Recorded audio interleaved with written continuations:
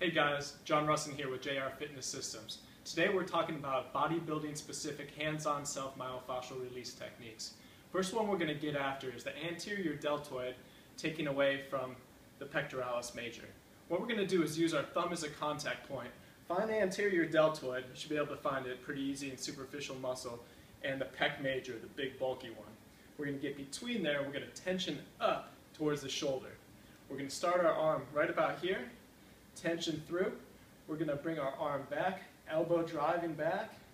Once you can't go back any farther, we're going to reach up, tension down towards the nipple on this one, reach and hold. I'm going to show this again in real time.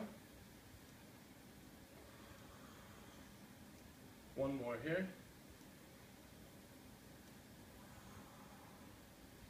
About five to eight reps, hit it after any pushing.